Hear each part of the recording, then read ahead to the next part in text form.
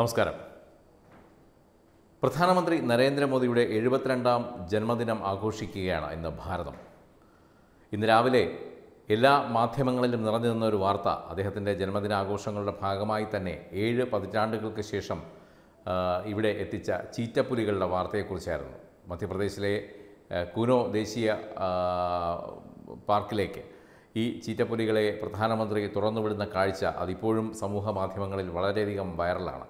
പക്ഷേ ഈ ദൃശ്യങ്ങളൊക്കെ മാറ്റിവച്ച് ചിന്തിച്ചാൽ നമുക്കറിയാം പ്രധാനമന്ത്രിയുടെ ഓരോ കാര്യത്തിലുമുള്ള അദ്ദേഹത്തിന്റെ വസ്ത്രരീതിയാകട്ടെ അല്ലെങ്കിൽ ഓരോ കാര്യവും അദ്ദേഹം സമീപിക്കുന്ന രീതിയാകട്ടെ ചില ചെറിയ കാര്യങ്ങളെ പോലും വലിയ ബ്രാൻഡ് ഇവന്റുകളാക്കി മാറ്റുന്ന അദ്ദേഹത്തിന്റെ സവിശേഷത. ഇതിനെല്ലാം പിന്നിൽ ശക്തമായി ഒളിഞ്ഞിരിക്കുന്ന ചില സന്ദേശങ്ങൾ കൂടിയുണ്ട്.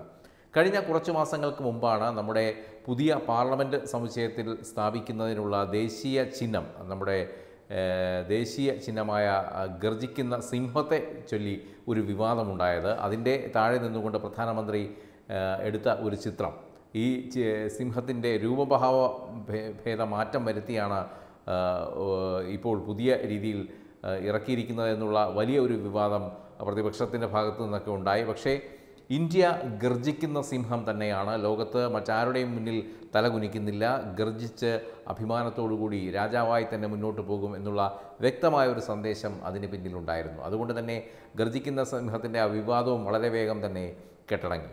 അതുപോലെ തന്നെയാണ് ഇപ്പോൾ ഈ ചീറ്റപ്പുലികളെ ഇന്ത്യയിൽ എത്തിച്ചത് വഴി അദ്ദേഹം സ്ഥാപിക്കാൻ ശ്രമിക്കുന്നത്. കാര്യം ഇന്ത്യ അതിവേഗം കുതിക്കുകയാണ്. മറ്റ് ലോകരാജ്യങ്ങൾക്കിടയിൽ നിന്നുകൊണ്ട് ഏഴ് പതിറ്റാണ്ടുകൾക്കപ്പുറത്ത് നിന്നുകൊണ്ട് വീണ്ടും തിരിച്ച് ഇന്ത്യ അതിന്റെ പരമ്പരാഗത ശൈലിയിലേക്ക് കടന്നു പോകുന്നു. അല്ലെങ്കിൽ ആ, പഴമയിലേക്ക് തിരിച്ചു പോകുന്നു.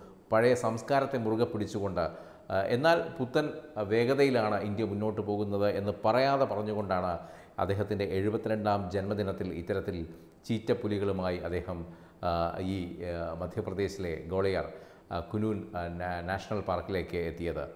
അദ്ദേഹത്തിന്റെ അവിടുത്തെ ആ ഒരു വസ്ത്രധാരണ രീതിയും രൂപഭാവവും ഒക്കെ തന്നെ സമൂഹ മാധ്യമങ്ങളിൽ വളരെയധികം ചർച്ചയായിരുന്നു. കാര്യം ഒരു വൈൽഡ് ലൈഫ് ഫോട്ടോഗ്രാഫറുടെ രൂപഭാവങ്ങളോടുകൂടിയായിരുന്നു പ്രധാനമന്ത്രി അവിടെ എത്തിയത്.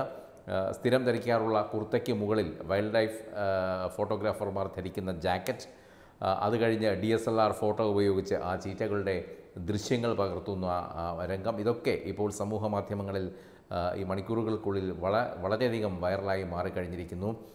ഈ ഇങ്ങനെ ഓരോ കാര്യത്തിലും അദ്ദേഹം ചെയ്യുന്ന ഓരോ കാര്യത്തിന് പിന്നിലും ഓരോ ഉദ്ദേശ ലക്ഷ്യങ്ങളുണ്ട്. നമുക്കറിയാം മുൻപ് കോൺഗ്രസ് ഭരിക്കുമ്പോഴൊക്കെ അല്ലെങ്കിൽ അതിനു മുമ്പ് ഇവിടെ വരുന്ന വിദേശ നേതാക്കളൊക്കെ കണ്ടിരുന്നത് താജ്മഹലും അതുപോലെ മുംബൈ സിറ്റിയിലെ ചില അമ്പരചുംബികളായ കെട്ടിടങ്ങളും ഡൽഹിയിലെ അത്തരത്തിലുള്ള കെട്ടിടങ്ങളും മാത്രമായിരുന്നു. പക്ഷേ മോദി വന്നതിന് ശേഷം ഇതിന് വ്യാപകമായ ഒരു മാറ്റമുണ്ടായിരിക്കുന്നു.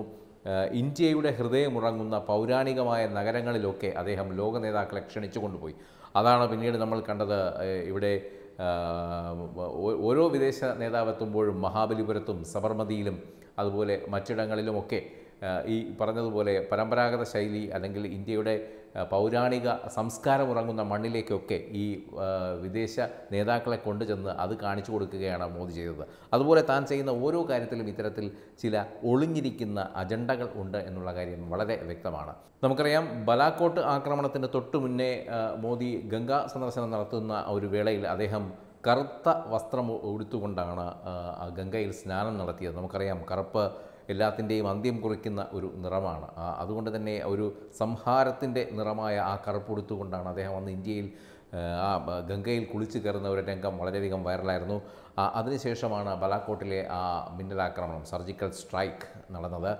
എന്തായാലും ഇങ്ങനെ അദ്ദേഹം ചെയ്യുന്ന ഓരോ കാര്യങ്ങൾക്ക് പിന്നിലും വ്യക്തമായ ഒരു ഉദ്ദേശ ശുദ്ധി കൂടിയുണ്ട്. വെറുതെ ഒരു ഷോ ഓഫ് മാത്രമല്ല ലുക്ക് ആൻഡ് ഫീലിലും അദ്ദേഹം ഒളിപ്പിച്ചു വയ്ക്കുന്ന ചില രഹസ്യങ്ങൾ. അത് ഒരുപക്ഷെ രാജ്യ പുരോഗതിക്ക് രാജ്യത്തിന്റെ നന്മയ്ക്ക് അല്ലെങ്കിൽ രാജ്യം മറ്റുള്ളവർക്ക് മുന്നിൽ മറ്റ് ലോകരാജ്യങ്ങൾക്ക് മുമ്പിൽ ചെറുതല്ല രാജ്യത്തിന്റേതായ ഒരു സ്ഥാനവും അഭിമാനവും ഉണ്ടെന്ന് തുറന്നു കാട്ടുകയാണ് മോദി ഇത്തരത്തിലുള്ള ഓരോ സംഭവങ്ങളിലൂടെ. ഇപ്പോൾ ഏറ്റവും ഒടുവിലായി ഈ ചീറ്റപ്പുലികളെ ഈ ദിവസം ഇവിടെ ഇന്ത്യയിൽ എത്തിച്ചത് വഴി അദ്ദേഹം സ്ഥാപിച്ചിരിക്കുന്നതും അതുതന്നെയാണ് ഭാരതം കുതിക്കുകയാണ് അതിവേഗത്തിൽ. ആ വേഗതയ്ക്ക് ഒപ്പം ഇനി സഞ്ചരിക്കേണ്ടത് നമ്മൾ ഭാരതീയരാണ് എന്ന് അദ്ദേഹം തുറന്നു കാട്ടുന്നുണ്ട്. ഇങ്ങനെ പൗരാണിക സംസ്കാരത്തിൽ ഊന്നി നിന്നുകൊണ്ട് പുതിയ കാര്യങ്ങൾക്ക് വലിയ രീതിയിലുള്ള ഒരു പ്രോത്സാഹനവും പ്രചോദനവും അത് ഇന്നിന്റെ ആവശ്യകതയ്ക്കനുസരിച്ച് ഇപ്പോഴത്തെ ട്രെൻഡിന് അനുസരിച്ച് ഒരുക്കി കൊടുക്കുന്ന ഒരു എന്താ പറയാൻ എല്ലാ രീതിയിലും ഒരു തികവുറ്റ ഭരണാധികാരി തന്നെയാണ് നരേന്ദ്രമോദി. Web desk തത്വമി.